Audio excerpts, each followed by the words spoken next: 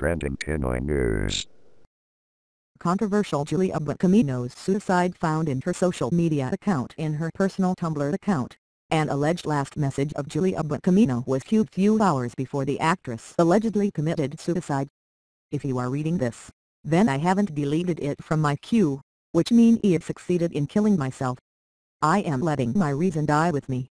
These are two of the few sentences written in Julia Buencamino's alleged suicide note.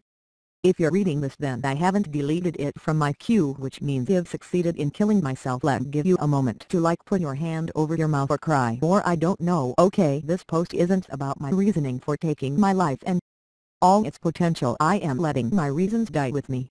Cause I am afraid of being judged for them. H ha ha. How messed up is that this is all being typed just for the sake of it mom plus dad, I wish you would be e-noticed.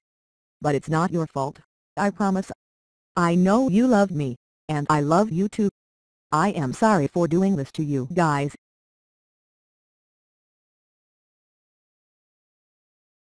Trending Pinoy News. Trending Pinoy News.